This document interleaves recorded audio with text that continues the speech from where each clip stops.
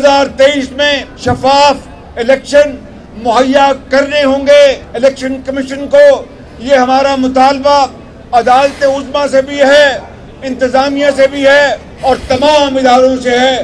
बिजली के बिल, बिजली बनकर गरीब आवाम पर टूट कर हमला कर रहे हैं। आप इस कौम का तेल निकाल दिया है और आप कहते हैं कि घबराना नहीं पीटीआई को हमेशा के लिए सियासी तौर पर दफन कर देंगे, इंशाल्लाह।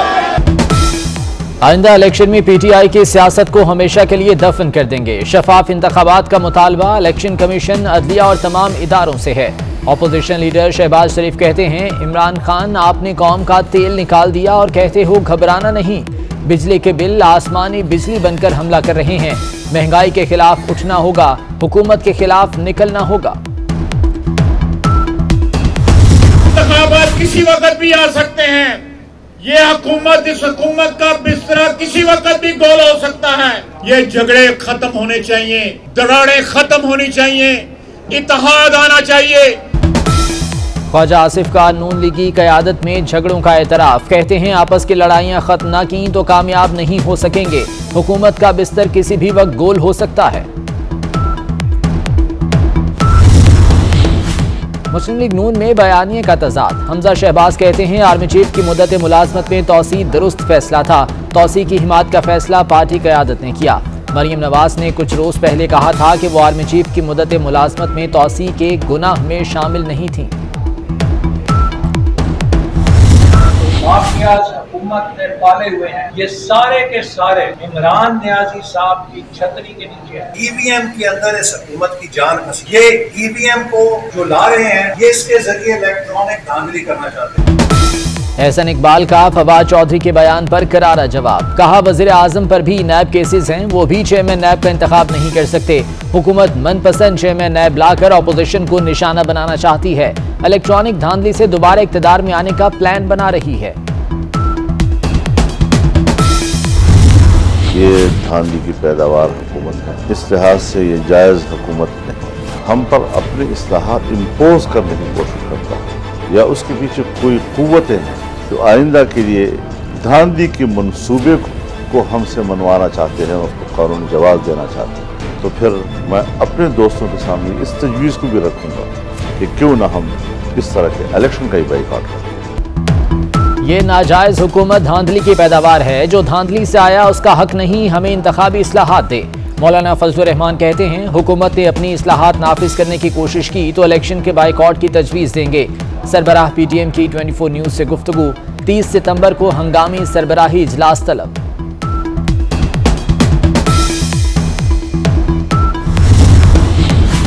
शरीफ खानदान ने मुल्क का पैसा बाहर लगाया। लाहौर, इस्लामाबाद मोटरवे के माहदे के वक्त लंदन में फ्लैट्स खरीदे गए। फवाद चौधरी कहते हैं, इमरान खान सड़कों के नहीं, करप्शन के खिलाफ थे। मुराद सईद बोले, नवाज़ शरीफ के बारे में कहा जाता था, खाता है तो लगाता भी है। कराची ग्रीन लाइन मंसूबे पर गवर्नर सिंध और लीगी रहनुमा मोहम्मद जुबैर आमने सामने। इमरान इस्माइल बोले, अगले माह ग्रीन लाइन बस सर्विस का आगाज़ होगा। पानी की फराहमी के मंसूबे के फोर का भी जल्द अफ्ताह करेंगे। मोहम्मद जुबैर बोले, ग्रीन लाइन मंसूबा नून लीग का है। हुकूमत थोड़ी शर्म दिखाए और शुक्रिया नवाज़ शरीफ का करे।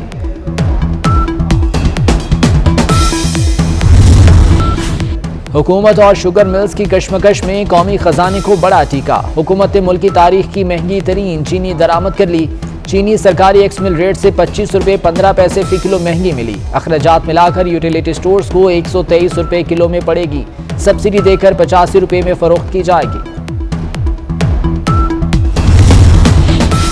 एक तरफ़ महँगाई में पिस्ती आवाम तो दूसरी तरफ़ हुकूमती सेनेटर का अनोखा मुतालबा। सेनेटर मंजूर अहमद काकड़ ने पार्लियामेंट के लिए जहाज़ वक्फ करने का मुतालबा कर दिया।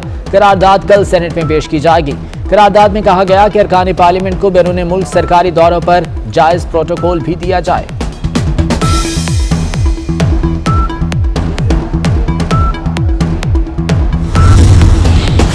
एफ़ बी आर के खिलाफ एहतजाज पर ताजरों के दो धड़ों में फूट पड़ गई। सदर मरकजी अंजुमन तंजीम ताजरान मोहम्मद काशिफ का एफ़ बी आर के साथ मुजाकर कामयाब होने और सत्ताईस सितंबर को हड़ताल न करने का ऐलान।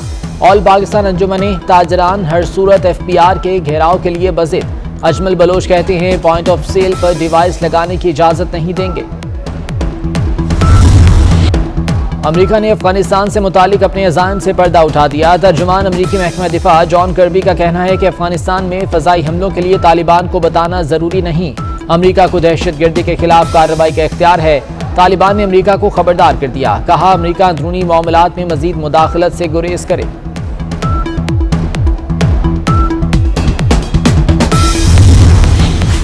कराची वाले हो जाएँ होशियार। एक बार फिर बादल बरसने को तैयार। 28 सितंबर से तेज हवाओं और गरज चमक के साथ बारिश का इम्कान।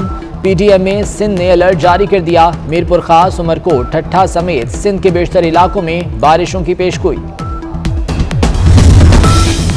अदाकार उमर शरीफ को अमेरिका भेजने की तैयारी फाइनल। एयर एंबुलेंस आज रात कराची में लैंड करेगी। जवाद उमर का कहना है कि एयर एंबुलेंस में सिर्फ़ वालिद जाएँगे। अहले खाना पीर को अमेरिका रवाना होंगे। हज़रत दाता गंज बख्श रहमतुल्लाह के उर्स की तकरीबा का आगाज़, मजार की चादर पोशी मुल्क भर से जारीन की दाता दरबार हाजिरी, सिक्योरिटी के सख्त इंतज़ाम